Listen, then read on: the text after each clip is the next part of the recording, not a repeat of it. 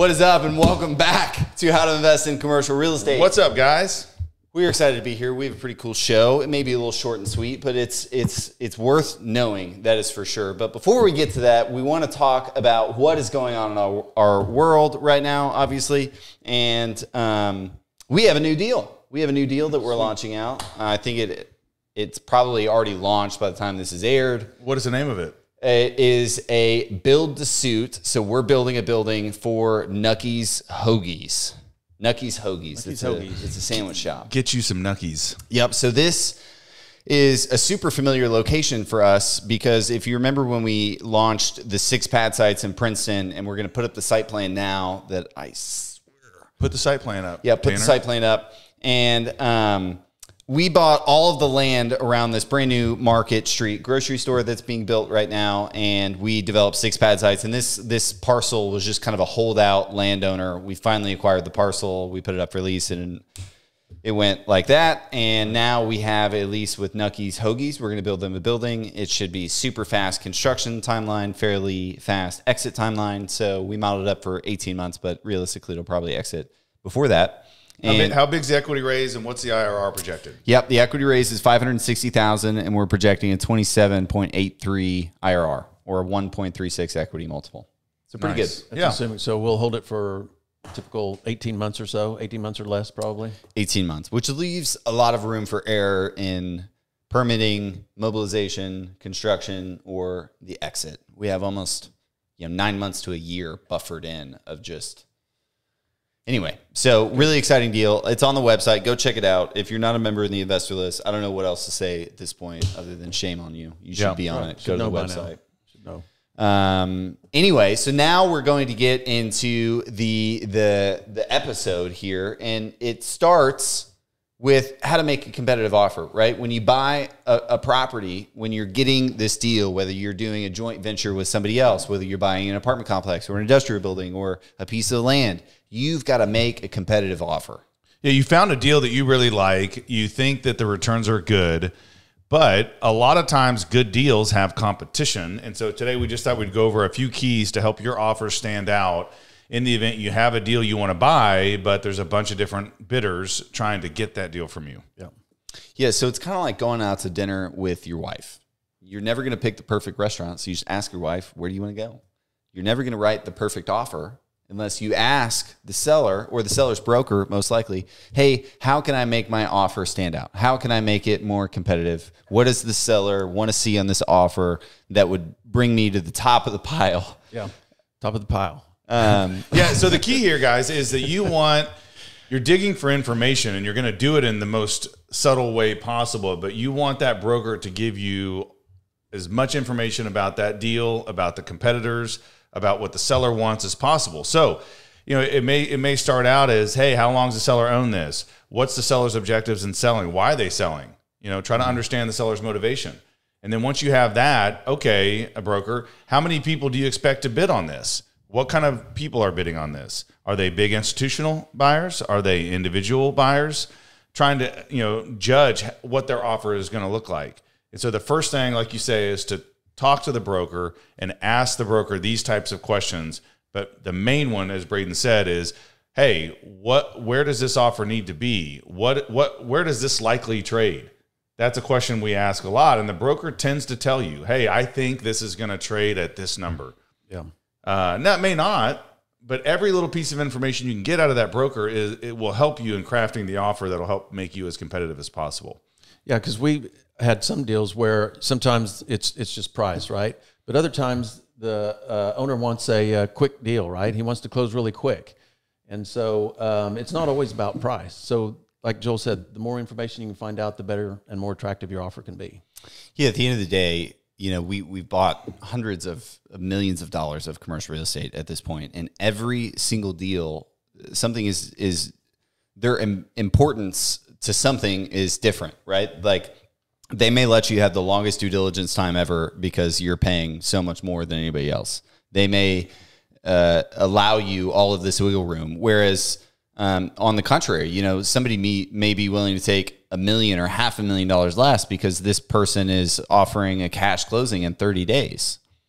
So you have all of these different uh, variables, and you need these data points uh, before you can go in and start to craft your offer. And then, you know, I think now we're just going to get into what we think makes us competitive buyers. I feel like because at this point we ask that a lot. Hey, how can how can I place a competitive offer when it's something you really want to buy? You have to ask that question. Every now and then you're going to lose a deal, but it, we don't want it to be because we wrote a crappy offer, you know? So like what is what is the deal? Typically, they give you pricing guidance or uh, cap rate guidance on in place income or whatever it is. Yeah, you know, we're looking at around this number. You know, that every broker is going to do that unless it's every now and then you'll run into like a real stickler about it. And then you're running into due diligence. What's the typical DD period? You know, what do we want to see here? They may say something crazy like two weeks, or we're expecting non refundable earnest money day one because we've got 20 offers coming in. You may just walk away right there. It's like, oh, I was trying to get a deal on this property, non refundable earnest money, I'm out. Like there's so many variables. So, uh, speaking about earnest money, uh, can that make your offer more attractive? Some um, non-refundable from day one or a weekend Yeah, or hundred something like percent, that. hundred percent non-refundable earnest money is attractive to a seller because it drastically increases the likelihood that you're going to perform, that you're going to close. It gives them confidence that you're Right, and to- you know this has happened to me where we've we've gotten something under contract to sell as a seller, and the buyer does the due diligence and tours our properties. I have to let the staff know that we potentially selling, and then they don't they don't close, and Mm-hmm. it disrupts the staff, and they're they're in limbo, thinking we were going to have a job, now we're not going to have a job, now we are still going to have our job. And so, as a seller, I want to know that the buyer is just going to do what they say they're going to do and they're going to buy that property. And as long as they have refundable earnest money and a period of time where they can just kick the tires around, you don't know if you have a sale. And so, the number one way to, and let me preface this if you're wanting to get a deal, then you need to steer away from what we're going to be talking about today. Uh, you know, if there's competition and you're trying to make your offer more attractive, well, then that that is going to limit your ability to get a really good deal. But if you find a property that you already think is a good deal, okay, at the price that they're asking, well, now we've got to figure out how to make make that deal happen. Uh, so we're not trying to get it already is a good deal. We're not trying to get it a really good deal. We're trying to buy the asset. And the number one way to do that is to offer non-refundable earnest money day one. And uh, for all the the newer investors, this is a risky strategy. So this is not for everybody to consider. You're not getting that money back. You you know, speaking from someone that has lost uh, a quarter million dollars in earnest money on a deal by not closing, this is risky.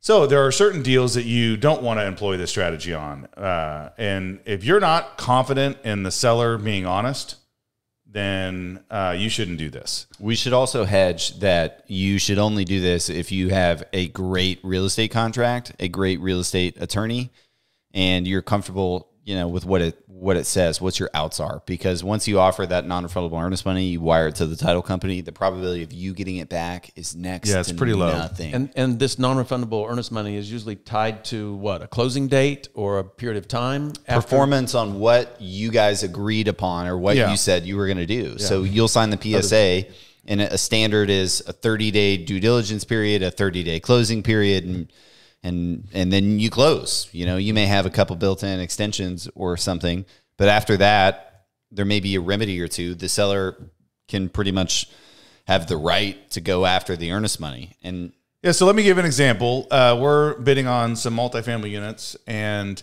we think it's a really good deal. And so one of our strategies to set us apart is we're offering non-refundable earnest money in the in the amount of maybe hundred thousand dollars. Now, uh, why am I doing that? A couple reasons. First is it's an institutional seller. So the institutional seller is most likely not going to be able to mislead you in the condition of the property. They have too much to lose. They're they're professionals. Uh, they want to be by the book and they don't want to get sued. And and so they're just going to be honest with the condition of the property. They're going to be honest with the income and it, whatever it is, it is. Now, if you're buying from a, a mom and pop that is not an institution that that you know doesn't have any reputation to uphold, you may not want to take that risk because you don't know what they may or may not be telling you, and you may not find any negative uh, aspects of the property until it's too late. But in this case, we toured the properties, and uh, they're really clean, and and so there's there's nothing I could tell uh, from from walking the units where anything that I have to be afraid of. Obviously, we've owned a bunch of multifamily, so non-refundable earnest money is an uh, attempt for us to put our offer ahead, saying, "Hey." Push comes to shove, we're not going to get it under contract and wait for 30 days and then say, "Oh no, we were just kidding about offering that price. We're going to lower our number." No, they know that that if I go under contract, that they have hundred thousand dollars of my money. So if I try to back out or retrade them on price, they're going to say no. They're going to take my hundred thousand, and they're going to go to seller number two, Yeah. or, or sorry, buyer number two, and they're going to try to get them to close. Uh, so it's a really powerful tool if you find a deal you want to offer that non-refundable earnest money. Okay, and and Braden, you mentioned due diligence. I assume you said typical. Good catch. You said typical period of time might be 30 days. I assume the seller wants as short a period of time as possible, right? Because that he just gets his money quicker. Yeah. So for reference, um, the in a standard transaction, you put up refundable earnest money that goes non-refundable after your inspection period. So that inspection period allows you to inspect the roof, inspect environmental, inspect all of these things, and and pull out kind of cost free. You get your earnest money back. Um, I mean, you paid for your own inspection, so it's it's a normal, cheap way of doing business. Now, I will say to to Joel's point, even when we offer non-refundable earnest money, we put in that they have to deliver clean title. We put in material adverse change clauses. We put in that they have to deliver a clear environmental study because these are things out of our control, right? So the seller may not know that they have a bad environmental study. We get a bad phase mm-hmm. one, our lender pulls out, and then we don't have that in there. Seller keeps their hundred grand. We don't have anything. That's a shitty day for everyone, you know, mm-hmm. except the seller, actually. Yeah. So those are great points. So let's talk about those three things. First was the the environmental.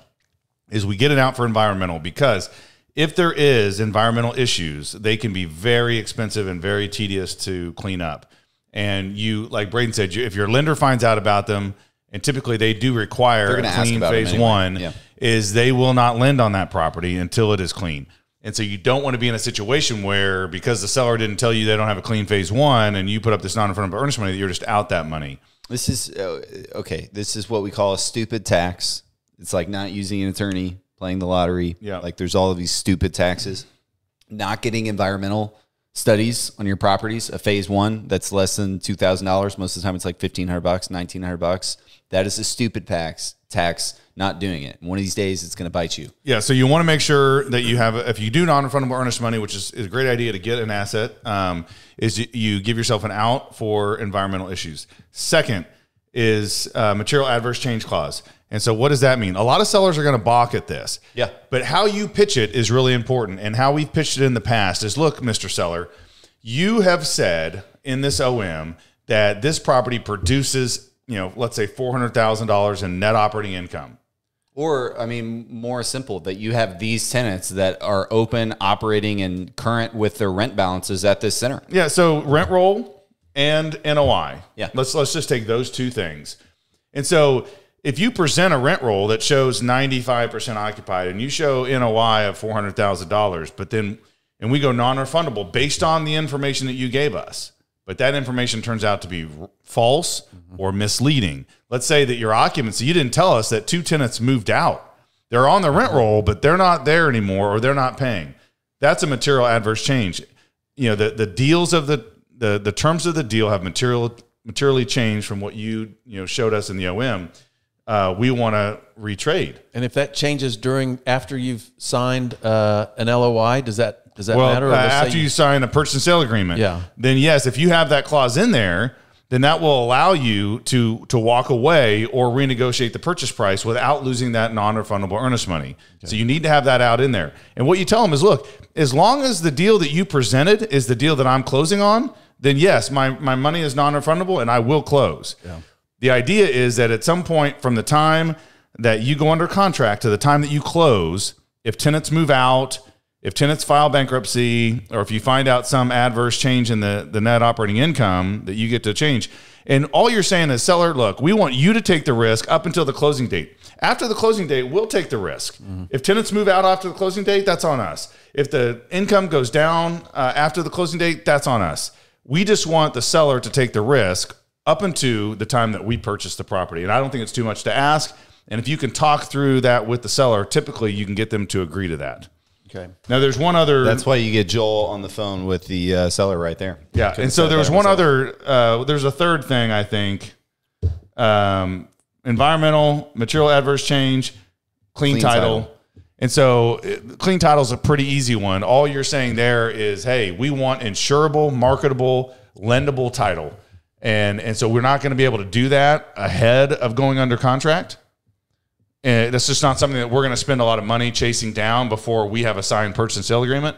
So all we're saying is we're going non-refundable on, on, our earnest money, but we just want to ensure that the title we're getting is clean and, and marketable. And that's most sellers agree to that as well. All right, we have other points, but one more point on non-refundable earnest money. It's it's a bear. I mean, you can see there's all these steps you have to do in order to offer non-refundable earnest money because you're really having to pre-inspect before you get in contract, right? This is what we're trying to do, or at least build in these outs where if you fail those certain things, even after they're inspected, that you can get out. But another one is you got to get boots on the ground, right? You got to go for a site visit, you got to go for a property tour. It's not only going to make you look like a very attractive prospective buyer that you're willing to invest your time, your energy, your funds to bring you and your team out there to walk the property, audit some leases, audit some units, make sure it exists, check the condition.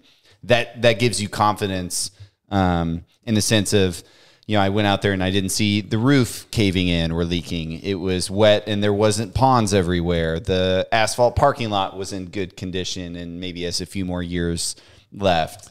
Yeah, ba- basically, uh, a site visit does two things. First, if you're going to go with non-refundable earnest money, you reduce your risk by getting eyes on the asset ahead of time. Yeah. Uh, because you will then see potential issues that you might run into, and you may say, "Okay, this is not one that I want to do non-refundable earnest money on." The other thing, though, as a seller, I can say is if I get a bunch of offers and two out of the five offers didn't even bother going to the property, haven't seen the property, and haven't even been in the city that the property is being sold in, then that offer is going to be less attractive. And so today's podcast is about, hey, how do I get my offer to, to rise to the top uh, versus the competitors? Is one is do a thorough walkthrough of the property if you are interested in that asset. It tells the seller that you're serious and that you've you you've been to the property and nothing scared you off. That you're still willing to to make a good offer after being you know having gone to the site. So that's important. Yeah, most of the time, if somebody's not willing to do a property tour, they're wasting your time. I, I would say that. I would say that. Yeah, and they may say, "Well, I'll I'll go to the property once we get it under contract." You know, yeah, maybe.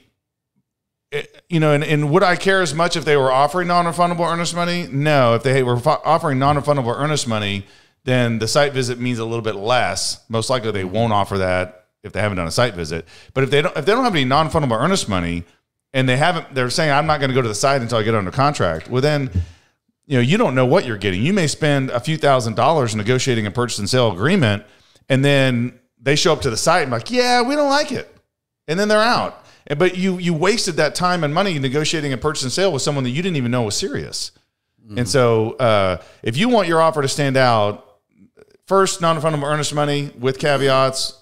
Second is go to the site ahead of time and have that be part of your resume. Hey, we've been to the site, we've toured it, we're good with it.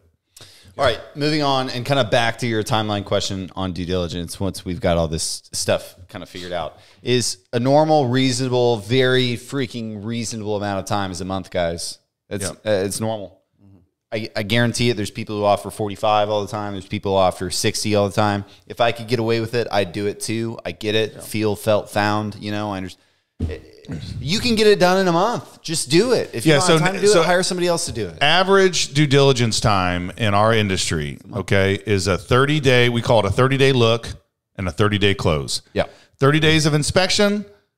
Once that inspection's done, earnest money of some kind should go non refundable. Yep. And then you have 30 days to close. which is really just getting your financing in order, finalizing the appraisal. I mean, And, and uh, Getting to, wrapped up. To think it through is okay, we're under contract, uh, but I don't, you know, I haven't done my due diligence yet, and I don't want to spend, you know, three or four thousand on an appraisal uh, before I know if my inspections are going well and if there's anything that's going to deter me from buying it. right. That's why I said that. You're Yeah. doing the appraisal after you've made the decision to do it, just because you have the luxury of that typically. Now, th- that being said, last year, 2022, when the market was on fire, uh, appraisers were backed up. I mean, we were seeing like 36 day lead times on an appraisal. So in that circumstance, I mean, maybe call and quote it out. We're typically getting three, I mean, two or three realistically quotes on an appraisal. So ask their lead time. If it's two, if it's within a month, definitely wait. And then the other point is we use up our kind of free oh shit time at the end. What I love to put in offers is, hey, Mr. or Mrs. Seller, if we were to give you another non-refundable earnest money deposit, would you give us another two weeks at the very end? And nine times out of 10, they're going to do this. They've gotten my first earnest money deposit that's non refundable. They got the second one after the inspection period, which is now non refundable. At this point, everything is lined up. We've inspected it. We've gone through title. They've seen all of my inspections. They're very amicable to give you two weeks because right now, they they have you on the hook and they're just reeling you in the boat, you know. So if you actually have, I mean, don't just exercise it to waste somebody's time, but you always have a lender issue or some crap. I mean, there's there's always something, right? There's always something. Okay, a couple more points to get your offer to the top is shorten the due diligence. So, uh, you know, it could be that you don't need 30 days to uh, inspect the property. Maybe you can have a property condition report or somebody go out there that can inspect the property and you can do it in 15 days, 21 days, two, three weeks. We've done that a lot and it, it helps, you know, because we, you know, let's say you set your offer has 20 days of due diligence and you're going to bust it. As soon as that contract signs, you're hiring people, you're going to the site and you're done within 20 days, earnest money non-refundable after that. And another person puts in 45 days, which is also, you know, fairly common. As a seller, I'm, I'm going to want to get a buyer on the deal or off the deal as soon as possible. So 21 days is better. After that 21 days, I know, do I have non-refundable earnest money? Am I moving to closing or, or are they out? But I don't want to wait 45 days. Uh, you know, so 21 days, 14 days is better than than 20 than you know 30 days or 45 days. So that's another area to, to separate yourself. I would say these are like sub sub 15 20 million dollar deals, you know? When you when you can get up there in property size, you can probably see some longer inspection periods, I would imagine. You know, like some massive apartment complexes I'm, I'm Yeah. sure can have some and then um what's what's next? Uh financing, right? Well, yeah. Um, so I, that's what I was going to bring up. So I'm thinking the last time I sold a house and I had offers on my house. Yeah. And people had contingencies, right? One was contingent on selling their house. One was contingent on them getting the loan. Trash. I assume any contingencies uh, in the contract are probably looked at negatively by the seller. For sure. They're garbage. They're ab- they're absolute free. A contingency is a contingency. The only reason they're taking our environmental contingency is because they don't think they have an environmental problem. The only reason they're taking our clear title contingency is because they don't think they're going to deliver bad title. Yeah, Same thing with material adverse change. This one, this was the worst. If as a seller, if someone came to me and said, "I want a financing contingency," that's the worst to me because depending on how it's worded, they could they could tell anything. their lender, "Hey, deny me for this loan." Right. You know, and then they're like, "We didn't get qualified, and we're two months into the process, and they're bailing." And so, if you're going to agree to a financing contingency, I would have that expire with whatever due diligence period you have. Like at some point, you've got to say, "I'm in" or "I'm out." And to leave a financing contingency hanging out there, uh, there's just too many ways to wiggle out of that one. Where environmental is really clear: are there environmental issues or are there not? But on financing, we have lenders on any given deal. Some lenders will say no, we're not going to lend, and some lenders will say yes. But all the seller would have to do on a finance contingency is just say, "Hey, we were unable to get acceptable financing." it's it's just not going to happen. and so they could th- for sure they'll find find a lender that are gonna that's gonna tell them they don't want to lend on it, or they'll try to get terms that are not market and that no lender's gonna give them, and they'll say, hey, no one will give us ninety nine percent loan to value, so we're out. So, So let's try to think of an example where we would take a financing contingency.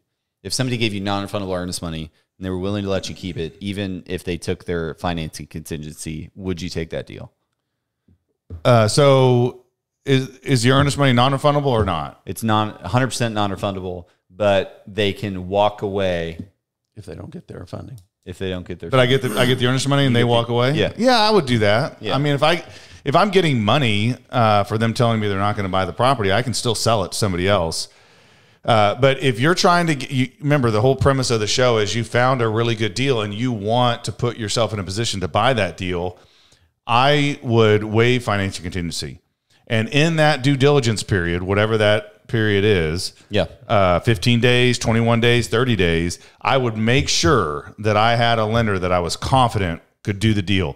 How do we So- how do we make sure a lender is confident in doing the deal? That's a great question. Um, I would try to have them submit it to final loan committee prior to uh, the, the the due diligence period expiring.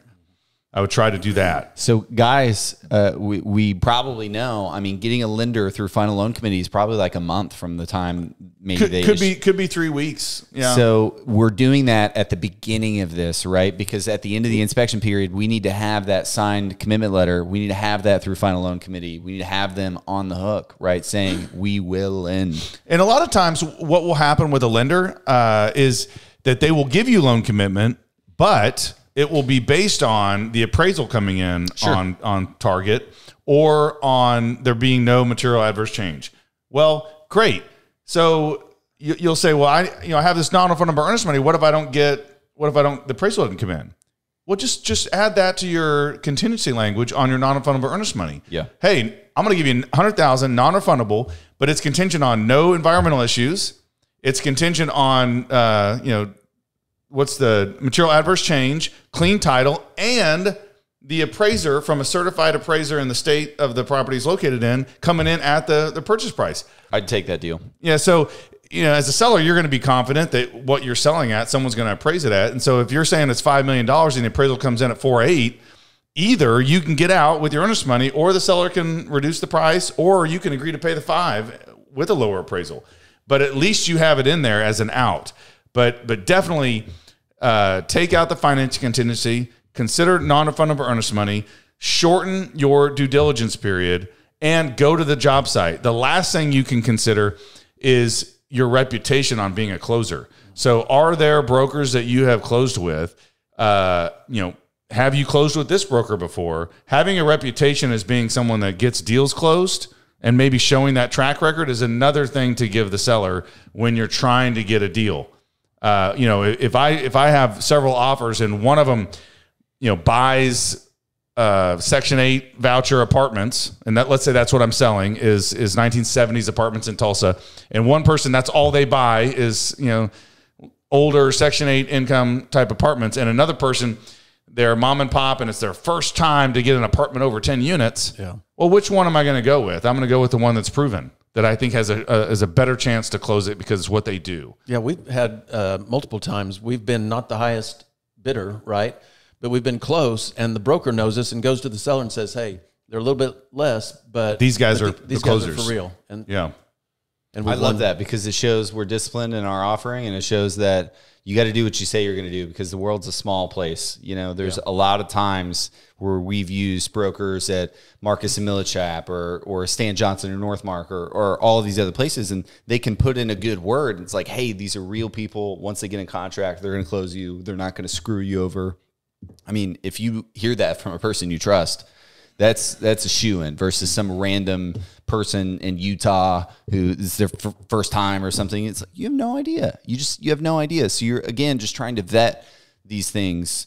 And and again, you can put that in your application. We we obviously have a decent web presence uh, because, well, obviously. Um, so put your website in there. Um, we're all- Everywhere like such as put put your track record, put references, put uh, properties you own in your LOI or easily uh, retrievable for them to get. So when they're looking at your offer, again, they can give you those bonus points. Wow, this group owns similar properties. They're uh, located close to here. They own stuff close to here. I mean, it, it makes sense and it helps make your offer more competitive. All right, so we're going to wrap this up, guys. But I think the important thing is this: you're going to have two types of opportunities when you're buying commercial real estate. One is is the the the deal that nobody wants that that you found that's a diamond in the rough, and you don't have competition on that. That's when you negotiate to win. Yep. Okay, but then there's going to be other deals that are deals of the decade, and they're right in front of everybody and there's going to be competition on those because people are seeing the same dollar signs that you're seeing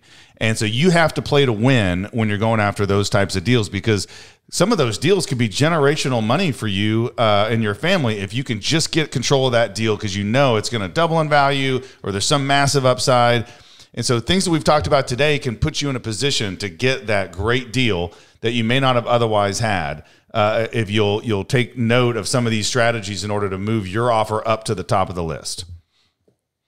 All right, guys. Well, if you are still listening on the podcast platform, make sure to drop us a review, iTunes, Spotify, wherever. Hit the five star button. We would sure appreciate it. Anyway, we will catch you guys next week. Yeah, on How to appreciate it, guys. Thank you. See you.